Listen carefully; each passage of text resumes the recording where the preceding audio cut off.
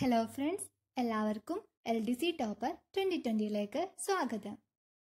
നമ്മൾ ഇന്ന് ചെയ്യാൻ പോകുന്നത് മാത്സ് ആൻഡ് മെന്റലബിലിറ്റിയിലെ പാർട്ട് ഫോറിൽ വരുന്ന പത്ത് ടോപ്പ് ക്വസ്റ്റ്യൻസ് ആണ്.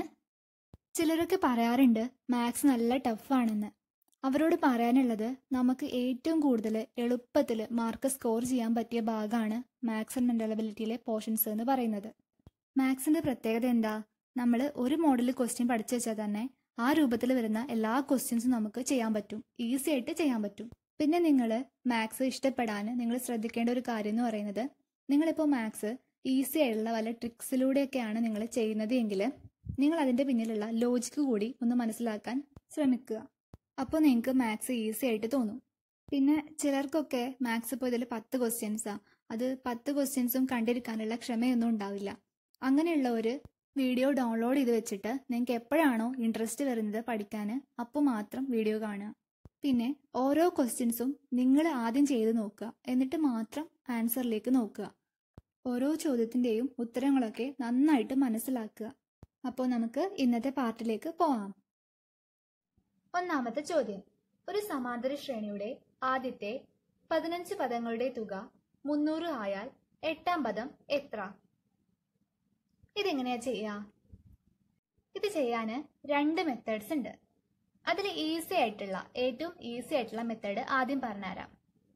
നമ്മുടെ ക്വസ്റ്റ്യൻ എന്താ പറഞ്ഞിരിക്കുന്നത് ഒരു സമാന്തര ശ്രേണിയുടെ ആദ്യ പതിനഞ്ച് പദങ്ങളുടെ തുക എന്ന് പറയുന്നത് മുന്നൂറ് തന്നിട്ടുണ്ട്.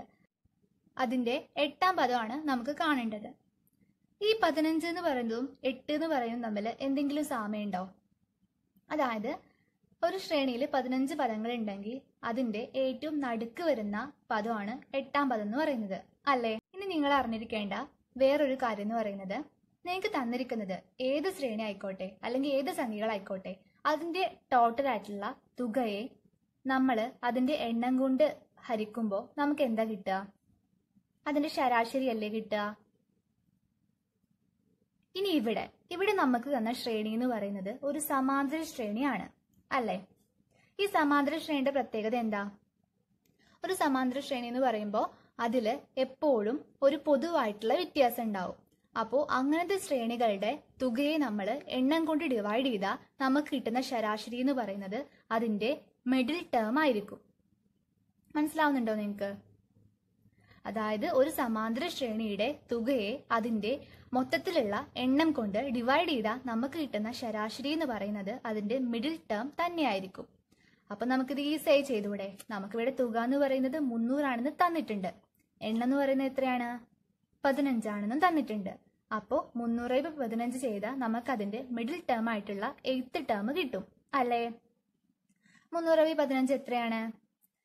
മുപ്പതിൽ രണ്ട് അപ്പൊ എത്ര കിട്ടും? ഇരുപത് എന്ന് കിട്ടും. അപ്പൊ ഇവിടെ ഉത്തരം എന്ന് പറയുന്നത് ഇരുപതാണ് ഏതാ ഓപ്ഷൻ ഓപ്ഷൻ ബി ആണ് ആൻസർ മനസ്സിലായോ? ഇനി ഇത് നമുക്ക് നോർമൽ ആയിട്ടുള്ള ഒരു മെത്തേഡിലും കൂടെ ചെയ്തു നോക്കാം. അതെങ്ങനെയാ? അതായത് നിങ്ങൾക്ക് അറിയാലോ ഒരു സമാന്തര ശ്രേണിയുടെ തുക കാണാനുള്ള ഇക്വേഷൻ എന്താ? N by two into two a plus n minus one into d ഇത് കൂടാണ്ട് ഒരു ഇക്വേഷനും കൂടെ ഉണ്ട്. അതേതാ? N by two into a one plus a n ഇവിടെ എ വണ്ണും എ ഒക്കെ നിങ്ങൾക്ക് അറിഞ്ഞൂടെ? ഫസ്റ്റ് ടേം ഇത് ലാസ്റ്റ് ടേം എ എന്ന് പറയുന്നത് ഫസ്റ്റ് ടേം എന്ന് പറയുന്നത് നമ്പർ എത്ര എണ്ണാണോ അത്? ഡി എന്ന് പറയുന്നത് കോമൺ ഡിഫറൻസ് അല്ലേ? ഇതൊക്കെ നിങ്ങൾക്ക് അറിയുന്നതല്ലേ? പിന്നെ നമുക്ക് അറിയേണ്ട കാര്യം നമുക്ക് nth ടേം കാണാനുള്ള ഇക്വേഷൻ എന്ന് പറയുന്നത് എന്താണ്? A plus n minus one into d ആണ്. എ എന്ന് പറയുന്നത് ഫസ്റ്റ് ടേം എന്ന് പറയുന്നത് നമ്പർ ഡി എന്ന് പറയുന്നത് കോമൺ ഡിഫറൻസ് അറിയാലോ? അപ്പോൾ നമ്മളുടെ കയ്യിൽ ഈ രണ്ട് ഇക്വേഷൻസ് ഉണ്ട്. ഈ ഇക്വേഷൻ വെച്ചിട്ട് നമ്മൾ തുക എപ്പോഴാണ് കാണുക? ഫസ്റ്റ് ടേമും ലാസ്റ്റ് ടേമും നമ്മുടെ കയ്യിൽ തന്നിട്ടുണ്ടെങ്കിൽ നമുക്ക് ഈ ഇക്വേഷൻ യൂസ് ചെയ്തിട്ട് അതുപോലെ എന്നും തന്നിട്ടുണ്ടെങ്കിൽ ഈ ഇക്വേഷൻ യൂസ് ചെയ്തിട്ട് നമുക്ക് കാണാം. പക്ഷെ നമ്മുടെ കയ്യിൽ ഇവിടെ തന്നിട്ടുള്ളത് ഫസ്റ്റ് ടേമും ലാസ്റ്റ് ടേമും ഒന്നുമില്ല കോമൺ ഡിഫറൻസും ഇല്ല. ആകെ നമ്മുടെ കയ്യിലുള്ളത് എന്തൊക്കെയാണ്? തുക തന്നിട്ടുണ്ട്. അതുപോലെ തന്നെ എന്ന് എന്ന് പറയുന്നത് പതിനഞ്ചാണെന്ന് അറിയാം. പിന്നെ എട്ടാം പദ കാണുന്നുണ്ടെന്നും അറിയാം ഇത്ര കാര്യങ്ങളല്ലേ നമുക്ക് അറിയുള്ളൂ. അപ്പൊ നമ്മുടെ എന്ത് ടേം എന്ന് പറയുന്നത് എയ്ത്ത് ടേം അല്ലേ അപ്പോൾ നമ്മളിവിടെ എ പ്ലസ് എന്ന് പറയുന്നത് എട്ടിന് എട്ട് മൈനസ് വൺ എത്ര വരിക? ഏഴ് വരും. സെവൻ ഡി എന്ന് വരും. മനസ്സിലായോ? എയ്ത്ത് ടേം കാണാനുള്ള ഇക്വേഷൻ എന്ന് പറയുന്നത് എ പ്ലസ് സെവൻ ഡി എന്നാണ് ഇനി നമ്മൾ ഇതിലേക്ക് വരാം നമ്മളുടെ സമ്മ് നമുക്ക് തന്നിട്ടുണ്ട്. എന്താണ്? N by two into two a plus n minus one into d equal to എത്രയാണ്? മുന്നൂറ് എന്ന് തന്നിട്ടുണ്ട്. അപ്പൊ നമുക്ക് എന്ന് പറയുന്നത് പതിനഞ്ചാന്ന് നമുക്ക് അറിയാം പതിനഞ്ച് ബൈ രണ്ട് ഇന്റു ടു എ പ്ലസ് ഇവിടെ പതിനഞ്ച് മൈനസ് ഒന്ന്. എത്ര വരിക? പതിനാല് ഡി എന്ന് വരും. ഇത് നമുക്ക് ഈ രണ്ടിനെ പുറത്തെടുത്തൂടെ? ഈ two a plus fourteen d എന്ന് നമുക്ക് രണ്ടിനെ പുറത്തെടുക്കാലോ. അപ്പൊ എന്താ വരിക? പതിനഞ്ച് ബൈ രണ്ട് ഇന്റു ടുവിനെ പുറത്തെടുത്തു. അപ്പൊ നമുക്ക് ഇവിടെ എ പ്ലസ് സെവൻ ഡി എന്ന് കിട്ടി. ഈ എ പ്ലസ് സെവന്റി അല്ലേ നമുക്ക് ഇവിടെ തന്നിരിക്കുന്ന എയ്ത്ത് ടേം എന്ന് പറയുന്നത്? എ പ്ലസ് സെവന്റി അല്ലേ? അതല്ലേ നമുക്ക് കാണേണ്ടത്? ഇതിന്റെ മൊത്തമുള്ള സമ്മ് എന്ന് പറയുന്നത് മുന്നൂറാന്ന് നമുക്ക് അറിയാലോ അപ്പൊ നമുക്ക് എ പ്ലസ് സെവന്റി കാണുന്നുണ്ടെങ്കിൽ ഇതിനെ ഈ പതിനഞ്ചിനെ അങ്ങോട്ട് കൊണ്ടുപോയാൽ പോരെ.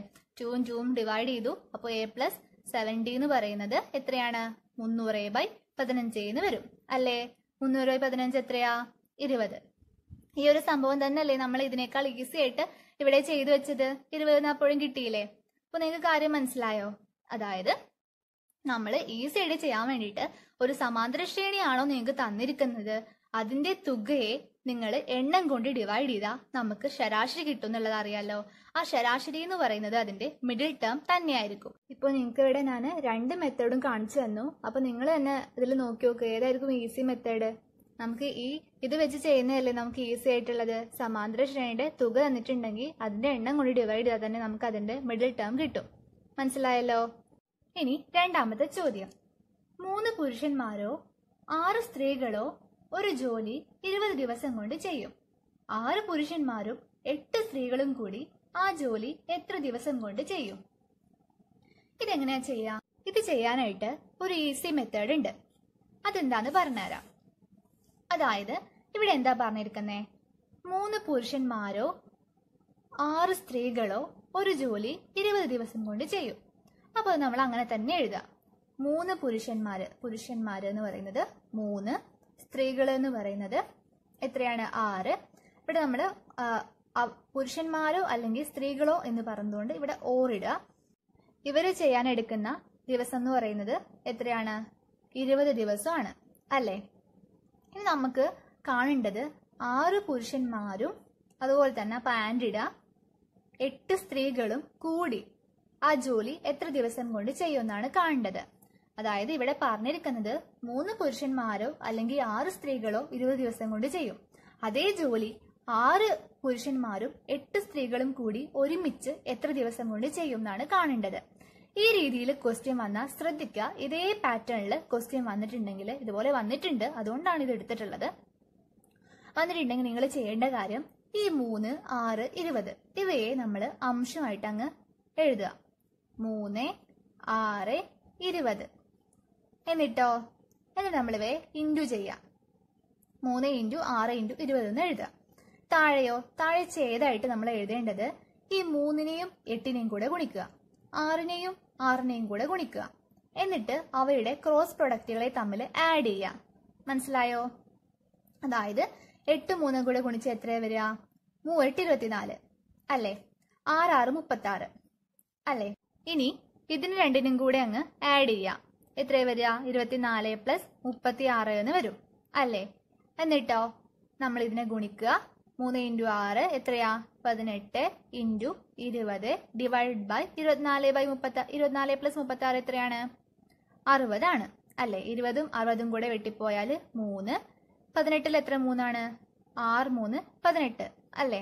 അപ്പൊ ഇവിടെ ആൻസർ എന്ന് പറയുന്നത് ആറായിരിക്കും. ഇത്രയേ ഉള്ളൂ ഇത് ചെയ്യാൻ. ഈസി ആയിട്ട് ചെയ്യാൻ നമുക്ക് ഈ വഴിയാണെങ്കിൽ അതായത് പുരുഷന്മാരോ സ്ത്രീകളോ ക്വസ്റ്റ്യൻ ശ്രദ്ധിക്കണം. അങ്ങനെ പറഞ്ഞിട്ടുണ്ടെങ്കിൽ നിങ്ങൾ ഇവിടെ ഇതേപോലെ എഴുതുക. ത്രീ ഓർ സിക്സ് അവരുടെ ദിവസം തന്നിട്ടുണ്ടാവും അതും എഴുതുക.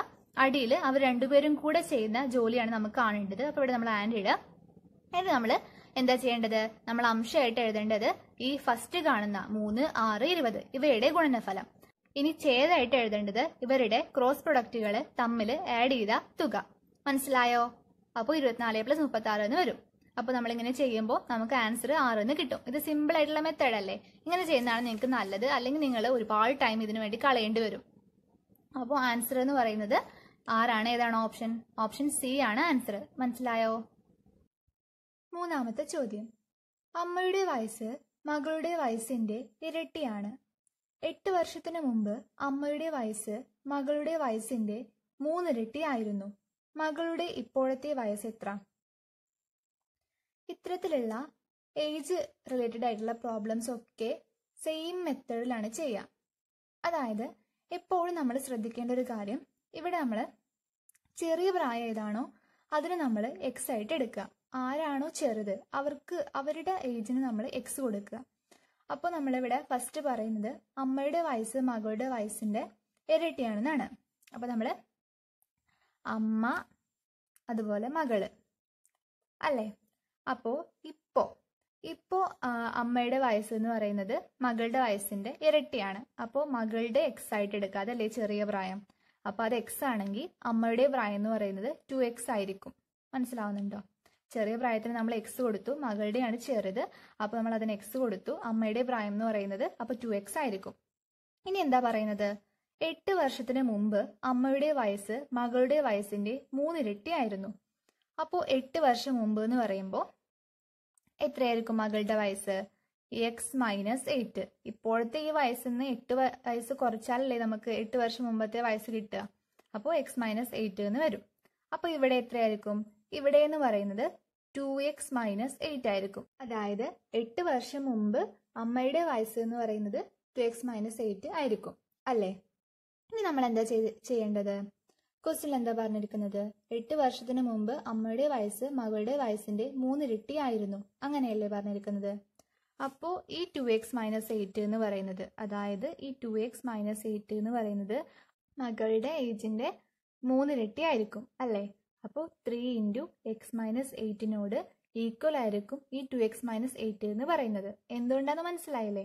അതായത് എട്ട് വർഷം മുമ്പ് മകളുടെ വയസ്സിന്റെ മൂന്നിരട്ടിയാണ് അമ്മയുടെ വയസ്സ്. അപ്പോൾ ഈ ടു എക്സ് മൈനസ് എയ്റ്റ് എന്ന് പറയുന്നത് ത്രീ ഇന്റു എക്സ് മൈനസ് എയ്റ്റിന് ഈക്വൽ ആയിരിക്കും. ഇതിനെ അങ്ങ് സോൾവ് ചെയ്താൽ മതി. മനസ്സിലാവുണ്ടോ? അപ്പോൾ two x minus eight equal to three x minus മൂവായിരത്തി ഇരുപത്തിനാല്. അല്ലേ? അപ്പോൾ നമ്മൾ ടു എക്സ് എക്സിന് അങ്ങോട്ട് കൊണ്ടുപോയി ഇരുപത്തിനാലിന് ഇങ്ങോട്ട് കൊണ്ടുവരികയാണ്. അപ്പോൾ ഇവിടെ നെഗറ്റീവ് സൈന് പ്ലസ് ആകും. Twenty four minus eight equal to three x minus two x എന്ന് വരും. ട്വന്റി ഫോർ മൈനസ് എയ്റ്റ് എത്രയാണ്? സിക്സ്റ്റീൻ എന്ന് വരും. ഈക്വൽ ടു എക്സ് അപ്പോൾ നമുക്ക് എക്സ് കിട്ടി. നമ്മളോട് എന്താ ചോദിച്ചിരിക്കുന്നത് മകളുടെ ഇപ്പോഴത്തെ വയസ്സ്. അതിനല്ലേ നമ്മൾ എക്സ് കൊടുത്തേ? എക്സ് അപ്പോൾ നമുക്ക് കിട്ടി. അത് എത്രയാണ്? പതിനാറാണ്. മനസ്സിലായോ? അപ്പോൾ ഇവിടെ ആൻസർ ഏതാണ്? ഓപ്ഷൻ ബി സിക്സ്റ്റീൻ ആണ് ഇവിടെ ആൻസർ വരിക. ഈ ക്വസ്റ്റ്യൻ തന്നെ വേറൊരു രീതിയിലും ചോദിക്കാം അതെങ്ങനെയാ? അമ്മയുടെ വയസ്സും മകളുടെ വയസ്സും തമ്മിലുള്ള അംശബന്ധം എന്ന് പറയുന്നത് വൺ ഈസ്റ്റ് ടു ആണ്. എട്ട് വർഷം മുമ്പ് ഇവരുടെ വയസ്സിന്റെ അംശബന്ധം എന്ന് പറയുന്നത് ത്രീ ഈസ്റ്റ് വൺ ആയിരുന്നു. എങ്കിൽ മകളുടെ ഇപ്പോഴത്തെ വയസ്സ് എത്ര? ഈ രൂപത്തിലും ഈ ക്വസ്റ്റ്യൻ ചോദിക്കുക. അതുപോലെ തന്നെ പല രീതിയിൽ ഇത് വളഞ്ഞും തിരിഞ്ഞൊക്കെ ചോദിക്കുക. അപ്പോഴൊക്കെ ഈ മെത്തേഡ് അങ്ങ് ഫോളോ ചെയ്താൽ മതി. അപ്പോൾ ഒരു കൺഫ്യൂഷനും വരില്ല. ഇതുപോലെ ചെയ്യാം. മനസ്സിലായോ? ഇനി നാലാമത്തെ ചോദ്യം. Thirty two raise to two by five into sixty four raise to three by six into eight raise to minus one by three ഇതിനെ സോൾവ് ചെയ്യാനാണ് പറഞ്ഞിരിക്കുന്നത്. ഒരു ക്വസ്റ്റ്യൻ കണ്ട. നമ്മൾ എങ്ങനെ ചെയ്യാം? ആദ്യം നമ്മൾ ക്വസ്റ്റ്യൻ അതുപോലെ തന്നെ എഴുതി വെക്കാം. Thirty two raise to two by five into sixty four raise to two by six three by six into eight raise to minus one by three ഇത്രയല്ലേ ഉള്ളത്? ഈ തേർട്ടി ടുവും സിക്സ്റ്റി ഫോറും എയ്റ്റും തമ്മിലൊക്കെ നിങ്ങൾക്ക് എന്തെങ്കിലും ബന്ധം തോന്നുന്നുണ്ടോ? ഇതൊക്കെ എന്താ? ഇതൊക്കെ രണ്ടിന്റെ പവേഴ്സ് അല്ലേ? അല്ലേ? അപ്പൊ നമുക്ക് ഇതിനെ എങ്ങനെ എഴുതാം? തേർട്ടി ടു എന്ന് പറയുന്നത് ടു റൈസ് ടു ഫൈവ് ആണ്. സിക്സ്റ്റി ഫോർ എന്ന് പറയുന്നത് ടു റൈസ് ടു സിക്സ് ആണ്. എയ്റ്റി എന്ന് പറയുന്നത് ടു റൈസ് ടു ത്രീ ആണ്. അപ്പൊ അതിന്റെ പവറിലേക്ക് കൺവേർട്ട് ചെയ്ത് എഴുതാം. അപ്പൊ എങ്ങനെ വരിക? ടു റൈസ് ടു ഫൈവ് ഇത് whole raise to two by five എന്ന് വരും.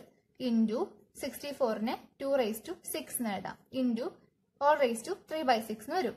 ഇന്റു എയ്റ്റിന് നമുക്ക് ടു റേസ് ടു ത്രീ എന്ന് എഴുതാം. Whole raise to minus one by three എന്ന് വരും. അല്ലേ? ഇനി നമ്മൾ എന്താ ചെയ്യേണ്ടത്? നിങ്ങൾക്ക് അറിയുന്നതല്ലേ? A raise to m whole raise to എന്ന് പറഞ്ഞാൽ എന്താണ്? എ റേസ് ടു എം എന്നാണെന്നുള്ള ഫോർമുല നിങ്ങൾക്ക് അറിയാലോ?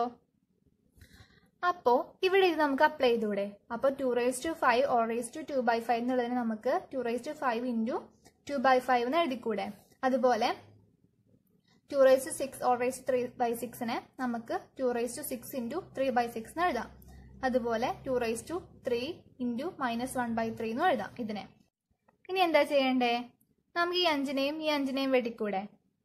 അപ്പോൾ ഈ അഞ്ചും അഞ്ചും ക്യാൻസലായി അതുപോലെ ഇവിടെ ആറും ആറും ക്യാൻസലായി ഇവിടെ മൂന്നും മൂന്നും ക്യാൻസലായി നമുക്ക് എന്താ ബാക്കിയുള്ളത്? Two square into two cube into two raise to minus one ഇതാണല്ലോ നമ്മുടെ കയ്യിൽ ബാക്കി. നിങ്ങൾക്ക് അറിയാമോ? എ റേസ് ടു എം എന്ന് പറയുന്നത് എന്താണ്? A raise to m plus a raise to n ആണ്. ഈ ഫോർമുല അറിയാമോ? അപ്പോൾ ഇനി അപ്ലൈ ചെയ്യേണ്ടത് ഈ ഫോർമുലയാണ് ഇവിടേക്ക്. അതെങ്ങനെയാ? അപ്പോൾ ഇവിടെ two raise to two plus three minus one എന്ന് വരും. ഇത് എത്രയാണ്? മൂന്ന് രണ്ട് അഞ്ച് അഞ്ചെന്ന് ഒന്ന് കുറച്ച് നാല്. അപ്പോൾ ടു റേസ് ടു ഫോർ എത്രയാണ് answer two raise to four എന്ന് പറഞ്ഞാൽ സിക്സ്റ്റീൻ അല്ലേ? അപ്പോൾ സിക്സ്റ്റീൻ എന്ന് പറയുന്ന ഏത് ഓപ്ഷൻ ഓപ്ഷൻ എ ആണ് ഇവിടെ ആൻസർ വരിക മനസ്സിലായോ നിങ്ങൾക്ക് ഇവിടെ എങ്ങനെയാ ചെയ്തതെന്ന് അതായത് ഇത്തരത്തിൽ ഒരു ക്വസ്റ്റ്യൻ കണ്ട നിങ്ങൾ ആദ്യം ചിന്തിക്കേണ്ടത് thirty two sixty four eight ഇവയ്ക്കൊക്കെ ഒരു പൊതുവായിട്ടുള്ള ഒരു ബന്ധം ഉണ്ടാവും. എന്തെങ്കിലും ഒരു ബന്ധം ഇങ്ങനെയുള്ള സംഖ്യകളിൽ ഉണ്ടാവും. ഇവിടെ എന്ന് പറയുന്നത് ഇവയൊക്കെ ടുവിന്റെ പവറാണ് നിങ്ങൾക്ക് ഞാൻ വേറൊരു എക്സാമ്പിൾ വർക്കൗട്ട് ചെയ്യാൻ ചെയ്- തരാം. നിങ്ങൾ കണ്ടുപിടിക്കൂ. Eighty one whole raise to one by four into twenty seven whole raise to two by three into nine raise to one by two ഇത് നിങ്ങൾ ചെയ്ത് നോക്കുക. നിങ്ങൾ വർക്കൗട്ട് ചെയ്യുക. ഈ എയ്റ്റി വണ്ണും ട്വന്റി സെവനും നയനും തമ്മിൽ ഒരു ബന്ധമുണ്ട്. അത് വെച്ചിട്ട് ഈ ഒരു പാറ്റേണിൽ ഈ ഒരു മെത്തേഡിൽ ചെയ്യേണ്ട ഒരു ക്വസ്റ്റ്യൻ ആണ് ഇതും. അപ്പോൾ നിങ്ങൾ നിങ്ങൾ സ്വയം ഒന്ന് ചെയ്ത് നോക്കുക. എന്നിട്ട് ഇതിന്റെ ആൻസർ ആൻസർ പറഞ്ഞുതരാം. ആൻസർ എന്ന് പറയുന്നത് നിങ്ങൾക്ക് ലാസ്റ്റ് കിട്ടുന്നത് എയ്റ്റി വൺ ആയിരിക്കും. അപ്പോൾ അതിലേക്ക് നിങ്ങൾക്ക് എത്താൻ പറ്റുന്നുണ്ടോ എന്ന് നിങ്ങളൊന്ന് നോക്കൂ. ഇനി അഞ്ചാമത്തെ ചോദ്യം. മുപ്പത് മുതൽ അമ്പത്തിയൊമ്പത് വരെയുള്ള ഒറ്റ സംഖ്യകളുടെ ശരാശരി എത്ര? നമ്മളോട് എന്താ ചോദിച്ചിരിക്കുന്നേ? മുപ്പത് മുതൽ അമ്പത്തിയൊമ്പത് വരെയുള്ള ഒറ്റ സംഖ്യകളുടെ ശരാശരി അല്ലേ? അപ്പോ മുപ്പത് എന്ന് പറയുന്നത് ഇരട്ട സംഖ്യ ആയതുകൊണ്ട് തന്നെ മുപ്പത് അതിൽ ഇൻക്ലൂഡ് ആവില്ലല്ലോ. അപ്പൊ ഫസ്റ്റ് വരുന്ന സംഖ്യ എന്ന് പറയുന്നത് ഏതായിരിക്കും? മുപ്പത്തി ഒന്നായിരിക്കും ഫസ്റ്റ് സ്റ്റാർട്ട് ചെയ്യുന്നത്. അവസാനോ അമ്പത്തൊമ്പത് എന്ന് പറയുന്ന ഒരു ഒറ്റ സംഖ്യ ആയതുകൊണ്ട് തന്നെ അമ്പത്തൊമ്പതിൽ ഉൾപ്പെടും. അല്ലേ? അപ്പൊ ഇനി മുപ്പത്തൊന്ന് മുതൽ അമ്പത്തൊമ്പത് വരെയുള്ള ഒറ്റ സംഖ്യകളുടെ ശരാശരിയാണ് നമുക്ക് കാണേണ്ടത്. നിങ്ങൾ അറിഞ്ഞിരിക്കേണ്ട ഒരു കാര്യം എന്ന് പറയുന്നത് ഈ ഒറ്റ സംഖ്യകൾ എന്ന് പറയുമ്പോൾ എന്താ? ഒരു സംഖ്യ ഇടവിട്ട് ഇടവിട്ട് വരുന്നത്. അതായത് അവയുടെ ഇടയിൽ ഓരോ സംഖ്യകളുടെ ഇടയിലും ഒരു പൊതുവായിട്ടുള്ള വ്യത്യാസം വരുന്നുണ്ട്. അല്ലേ? ഓരോ സംഖ്യകളുടെ ഇടയിലും ഒരു കോമൺ ഡിഫറൻസ് അല്ലെങ്കിൽ പൊതു വ്യത്യാസം വരുന്നില്ലേ? അപ്പൊ നിങ്ങൾ ഫസ്റ്റ് ക്വസ്റ്റിൽ നമ്മൾ പറഞ്ഞ പോലെ തന്നെ അതായത് ഒരു ശ്രേണിയുടെ ഒരു ഏതൊരു ശ്രേണി ആയിക്കോട്ടെ ഏതൊരു സംഖ്യകളായിക്കോട്ടെ അതിന്റെ ശരാശരി കാണാനുള്ള ഇക്വേഷൻ എന്ന് പറയുന്നത് എന്തൊക്കെയാണ്? ആകെ തുക നമുക്ക് തന്നിരിക്കുന്ന തുക ബൈ അതിന്റെ എണ്ണമായിരിക്കും അല്ലേ? ഇനി ഒരു സമാന്തര ശ്രേണി ആണെന്നുണ്ടെങ്കിൽ നമ്മൾ ഫസ്റ്റ് ക്വസ്റ്റ്യനിൽ പറഞ്ഞിരുന്നു ഒരു സമാന്തര ശ്രേണിയാണ് നമുക്ക് തന്നിട്ടുള്ളത് എങ്കിൽ അതിന്റെ മിഡിൽ ടേം എന്ന് പറയുന്നതായിരിക്കും അതിന്റെ ശരാശരി എന്ന് പറയുന്നത് അല്ലെ? അതുകൂടാണ്ട് ഒരു കാര്യം കൂടി പറയാണ് ഞാനിപ്പോ അതായത് നമ്മളുടെ കയ്യിൽ ഒരു സമാന്തര ശ്രേണിയാണ് ഉള്ളതെങ്കിൽ അതിന്റെ ശരാശരി എന്ന് പറയുന്നത് കാണാൻ നമുക്ക് അതിന്റെ ഫസ്റ്റ് ടേമും ലാസ്റ്റ് ടേമും തന്നിട്ടുണ്ടെങ്കിൽ അവയെ ആഡ് ചെയ്തിട്ട് അതിനെ രണ്ട് കൊണ്ട് ഡിവൈഡ് ചെയ്താൽ മതി. അതായത് ഇപ്പോൾ മുപ്പത്തി ഒന്നും അമ്പത്തി ഒമ്പതും അല്ലെ നമുക്ക് തന്നിട്ടുള്ളത്? ഇതിന്റെ ശരാശരി കാണാൻ വേണ്ടിയിട്ട് നമ്മൾ ഇതൊരു സമാന്തര ശ്രേണി ആയതുകൊണ്ട് തന്നെ ഇതിന്റെ ഇടയിലൊക്കെ ഒരു കോമൺ ഡിഫറൻസ് ഉള്ളത് കൊണ്ട് തന്നെ ഈ മുപ്പത്തി ഒന്നിനെയും അമ്പത്തി ഒമ്പത് അമ്പത്തി ഒമ്പതിനെയും കൂടി നമ്മൾ ആഡ് ചെയ്യുക എന്നിട്ട് രണ്ട് കൊണ്ട് ഡിവൈഡ് ചെയ്യുക എത്രയാ വരിക? മുപ്പത്തി ഒന്നും അമ്പത്തി ഒമ്പതും തൊണ്ണൂറ് എന്ന് വരും. തൊണ്ണൂറ് ബൈ രണ്ട്. നാൽപ്പത്തി അഞ്ച് എന്ന് വരും. ഇതൊരു സമാന്തര ശ്രേണി ആയതുകൊണ്ട് തന്നെ ഈ നാൽപ്പത്തഞ്ച് തന്നെ ആയിരിക്കും ഇതിന്റെ മിഡിൽ ടേം ആയിട്ട് വരുന്നത്. അല്ലേ? നമ്മുടെ ആൻസർ മിഡിൽ ടേം കാണാനല്ല ശരാശരി കാണാനാണ്. അത് നാൽപ്പത്തിയഞ്ചാണ് നിങ്ങൾക്കിത് ഒരു ചെറിയൊരു എക്സാമ്പിളിലൂടെ ഞാനിത് മനസ്സിലാക്കി തരാം.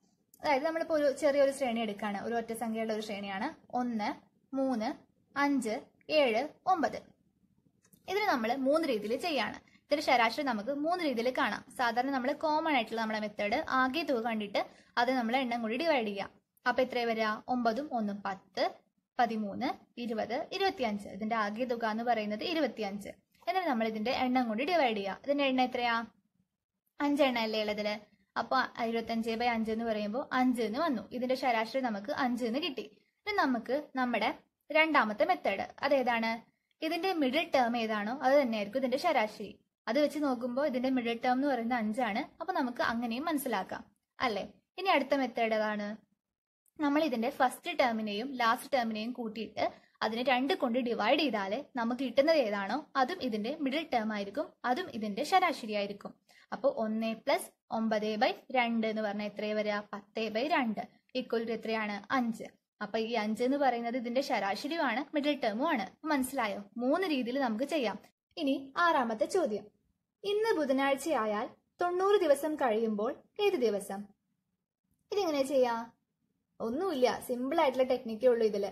ദിവസം കാണാനല്ലേ? നമ്മുടെ ക്വസ്റ്റ്യനിൽ പറഞ്ഞിരിക്കുന്നത് ഇന്ന് ബുധനാഴ്ചയാണെന്നാണ് അല്ലെ? അപ്പൊ ഇന്ന് ബുധനാഴ്ചയാണ്. ഇനി തൊണ്ണൂറ് ദിവസം കഴിഞ്ഞിട്ടുള്ള തൊണ്ണൂറ് ഡേയ്സ് കഴിഞ്ഞാൽ ദിവസം ഏതായിരിക്കും എന്നാണ് നമ്മുടെ ചോദ്യം. അതായത് നിങ്ങൾക്ക് അറിയാലോ ഒരാഴ്ച എന്ന് പറയുമ്പോൾ അതിൽ എത്ര ദിവസാ? സെവൻ ഡേയ്സ് അല്ലേ? അതായത് ഇന്നിപ്പോ ഒരു തിങ്കളാഴ്ചയാണെന്നുണ്ടെങ്കിൽ ആ ഏഴ് ദിവസം കഴിഞ്ഞ എട്ടാമത്തെ ദിവസം എന്ന് പറയുന്നത് എന്തായിരിക്കും? തിങ്കൾ തന്നെ ആയിരിക്കും. അതായത് ഓരോ ഏഴ് ദിവസവും കഴിയുമ്പോഴാണ് ഓരോ ദിവസങ്ങൾ സെയിം ഡേയ്സ് തന്നെ റിപ്പീറ്റ് ചെയ്ത് വരിക. അല്ലേ? അപ്പോൾ അങ്ങനെയാണെങ്കിൽ നമ്മളോട് ചോദിച്ച ചോദ്യം തൊണ്ണൂറ് ദിവസം കഴിയുമ്പോൾ ഏത് ദിവസം ആയിരിക്കും എന്നാണ്. അപ്പൊ തൊണ്ണൂറിനെ നമ്മൾ ഏഴ് കൊണ്ട് ഡിവൈഡ് ചെയ്യുക ആദ്യം ചെയ്യേണ്ടത്. അപ്പൊ നമ്മൾ തൊണ്ണൂറിനെ ഏഴ് കൊണ്ട് ഡിവൈഡ് ചെയ്താൽ എത്രയാ വരിക? ഒമ്പതിൽ ഒരു ഏഴ് ഏഴ് രണ്ട് ശിഷ്ടം ഇരുപതിൽ എത്ര ഏഴാ? രണ്ട് ഏഴല്ലേ? പതിനാല്. അപ്പൊ നമുക്ക് എത്രയാ? ശിഷ്ടം വന്നേ? ആറ് എന്ന് ശിഷ്ടം വന്നു. അല്ലേ? അപ്പോ നമ്മൾ ഇന്ന് മനസ്സിലാക്കേണ്ടത് ഈ തൊണ്ണൂറ് ദിവസങ്ങളിൽ ഏഴ് ആഴ്ച പന്ത്രണ്ട് തവണ റിപ്പീറ്റ് ചെയ്യുന്നുണ്ട് അല്ലേ? ബാക്കി വരുന്നത് ആറ് ദിവസങ്ങളാണ്. അപ്പോൾ ഈ ആറ് ദിവസങ്ങൾ നമ്മൾ ഏത് ദിവസമാണ് നമ്മളുടെ കയ്യിലുള്ളത്? ആ ദിവസത്തിനോട് കൂടെ കൂട്ടിയാൽ നമുക്ക് ആ തൊണ്ണൂറ് ദിവസം കഴിയുമ്പോൾ ഏത് ദിവസമായിരിക്കും എന്ന് അറിയാൻ പറ്റില്ലേ? മനസ്സിലാവുന്നുണ്ടോ? ഒന്നുകൂടി പറയാ അതായത് ഈ തൊണ്ണൂറ് ദിവസങ്ങളുടെ ഉള്ളിൽ എത്ര ആഴ്ചകൾ ഉണ്ടെന്ന് നോക്കുക. പന്ത്രണ്ട് ആഴ്ചകളാണ് ഉള്ളത്. അപ്പോൾ ആ പന്ത്രണ്ട് ആഴ്ചകൾ കഴിഞ്ഞ അടുത്ത ദിവസം എന്ന് പറയുന്നത് ഈ ഡേ തന്നെ റിപ്പീറ്റ് ചെയ്യും. അല്ലേ? അപ്പോൾ ബുധൻ കഴിഞ്ഞിട്ട് ആറ് ദിവസം കഴിഞ്ഞാൽ വരുന്ന ദിവസം ഏതായിരിക്കും? ബുധൻ കഴിഞ്ഞ് ഏഴ് ദിവസം കഴിഞ്ഞാൽ വീണ്ടും ബുധൻ തന്നെ ആവർത്തിക്കും. ഒരാഴ്ച കഴിഞ്ഞില്ലേ? അപ്പോൾ ആറ് ദിവസം കഴിഞ്ഞ ആ ബുധന് തൊട്ട് ബാക്കിലുള്ള ദിവസം ഏതായിരിക്കും? ചൊവ്വ ആയിരിക്കില്ലേ ആവർത്തിക്കുക? മനസ്സിലാവുന്നുണ്ടോ? അപ്പോ ബുധൻ കഴിഞ്ഞ വ്യാഴം വെള്ളി ശനി ഞായർ തിങ്കൾ ചൊവ്വ. ആറാമത്തെ ദിവസം എന്ന് പറയുന്നത് ചൊവ്വയായിരിക്കും. വരുന്നത്. അപ്പൊ തൊണ്ണൂറ് ദിവസം കഴിയുമ്പോൾ നമുക്ക് കിട്ടുന്ന ദിവസം എന്ന് പറയുന്നത് ചൊവ്വയാണ്. മനസ്സിലായോ? അപ്പൊ ഏതാ ഓപ്ഷൻ ഓപ്ഷൻ എ ആണ് ആൻസർ അതായത് ഒന്നുകൂടെ സിമ്പിൾ ആയിട്ട് പറയാം. നിങ്ങളുടെ കയ്യിൽ എത്ര ദിവസമാണ് തന്നിട്ടുള്ളത്? ആ ദിവസത്തിന് നിങ്ങൾ ഏഴ് കൊണ്ട് ഡിവൈഡ് ചെയ്യുക എന്നിട്ട് എത്രയാണോ ശിഷ്ടം വരുന്നത്? ആ ശിഷ്ടത്തെ ഇന്ന് തന്ന ദിവസം ഏതാണോ ആ ദിവസത്തിനോട് കൂടെ ആഡ് ചെയ്യുക അങ്ങനെ ആഡ് ചെയ്യുമ്പോൾ നമുക്ക് കിട്ടുന്ന ദിവസം ഏതാണോ അതായിരിക്കും ആ ആൻസർ എന്ന് പറയുന്നത്. മനസ്സിലായോ? ഇനി ഏഴാമത്തെ ചോദ്യം. ഒരു ക്ലാസ്സിലെ ഇരുപത് കുട്ടികൾ പരസ്പരം ഹസ്തദാനം നൽകിയാൽ ആകെ ഹസ്തദാനങ്ങളുടെ എണ്ണം എത്ര? ഇത് നമുക്ക് ഈസി ആയിട്ട് ചെയ്യാൻ പറ്റും. ഒന്നും നോക്കണ്ട നിങ്ങൾ ഇരുപത് കുട്ടികളാണ് ഹസ്തദാനം കൊടുത്തിട്ടുള്ളത് എങ്കിൽ ടോട്ടൽ ആയിട്ടുള്ള അവിടെ ഹസ്തദാനങ്ങളുടെ എണ്ണം എന്ന് പറയുന്നത് ഇരുപത് ഇന്റു പത്തൊമ്പത്. ഇരുപതിന് ഒന്ന് കുറയ്ക്കുക. ബൈ ടു ആയിരിക്കും. ഇതിന്റെ ആൻസർ ആയിരിക്കും. അതായത് എന്ന് പറയുന്ന കുട്ടികൾ നൽകിയിട്ടുള്ള ആകെ ഹസ്തദാനം എന്ന് പറയുന്നത് കണ്ടെത്താനുള്ള ഇക്വേഷൻ എന്ന് പറയുന്നത് n into n minus one by two ആണ്. ഹസ്തദാനങ്ങളുടെ ടോട്ടൽ ആയിട്ടുള്ള എണ്ണം കാണാനുള്ള ഇക്വേഷൻ എന്ന് പറയുന്നത് ഇതാണ്. അപ്പൊ ഇവിടെ നമ്മൾ ഇത് കൊടുത്തു ഇരുപത് ഇന്റു പത്തൊമ്പത് ബൈ രണ്ട്. അപ്പൊ എത്ര വരിക? ഇരുപതും രണ്ടും ഡിവൈഡ് ചെയ്താൽ പത്ത്. പത്ത് ഇന്റു പത്തൊമ്പത് നൂറ്റി തൊണ്ണൂറ് എന്ന് വരും. അപ്പൊ ആൻസർ ഇവിടെ വൺ നയന്റി ആണ് ഉണ്ടാവുക. ഏതാണ് ഓപ്ഷൻ ഓപ്ഷൻ സി ആണ് ആൻസർ മനസ്സിലായോ? ഇനി എട്ടാമത്തെ ചോദ്യം. ഇരുപത് സെന്റിമീറ്റർ ഉയരവും ഇരുപത് സെന്റിമീറ്റർ വ്യാസവുമുള്ള ഒരു വൃത്തസ്തംഭത്തിൽ നിന്ന് മുറിച്ചെടുക്കാവുന്ന ഏറ്റവും വലിയ ഗോളത്തിന്റെ ആരം. അപ്പോ ഈ ക്വസ്റ്റ്യൻ ചെയ്യുന്നതിന് മുമ്പ് നിങ്ങൾക്ക് ഈ വൃത്തസ്തംഭം എന്ന് പറഞ്ഞാൽ അതുപോലെ തന്നെ ഗോളം എന്ന് പറഞ്ഞാൽ എന്താന്നൊക്കെ നിങ്ങൾക്ക് അറിഞ്ഞിരിക്കണം. അതായത് നിങ്ങളിപ്പോൾ ഇംഗ്ലീഷ് മീഡിയം പഠിച്ചവരൊക്കെ ആണെന്നുണ്ടെങ്കിൽ വൃത്തസ്തംഭം എന്നൊക്കെ പറഞ്ഞാൽ എന്താണെന്ന് നിങ്ങൾക്ക് അറി അറിഞ്ഞിരിക്കണം എന്നില്ല അപ്പോൾ നിങ്ങൾ എല്ലാവരും എല്ലാ ജ്യാമിതീയ രൂപങ്ങളുടെയും മലയാളവും അതുപോലെ തന്നെ ഇംഗ്ലീഷും ഒക്കെ അറിഞ്ഞു വെക്കണം. അപ്പോൾ വൃത്തസ്തംഭം എന്ന് വെച്ചാൽ എന്താണ്? സിലിണ്ടർ അല്ലേ? സിലിണ്ടർ അല്ലേ വൃത്തസ്തംഭം എന്ന് പറയുന്നത്?